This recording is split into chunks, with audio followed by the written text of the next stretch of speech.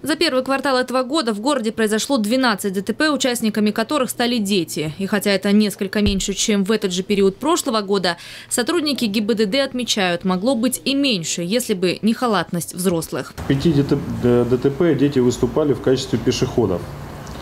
А в шести ДТП дети являлись пассажирами транспортных средств, на, чтобы особое внимание хотелось обратить, что детей а, в этих ДТП перевозили без специальных детских удерживающих устройств.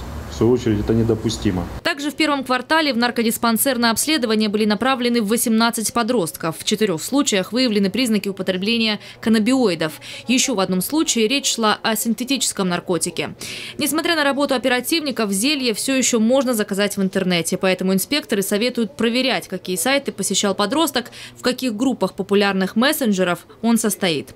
Оптимально занять ребенка творчеством или спортом. Для этого летом в Сочи открываются площадки нашего двора – в рамках этого проекта с ребятами работают не только тренеры, но и специалисты УВД. За каждой такой площадкой и за лагерем при школах закреплены сотрудники подразделений по делам несовершеннолетних для проведения профилактической работы правового характера. Напомнили и позиции краевого детского закона. Без присмотра взрослых в принципе не могут находиться малыши до 7 лет.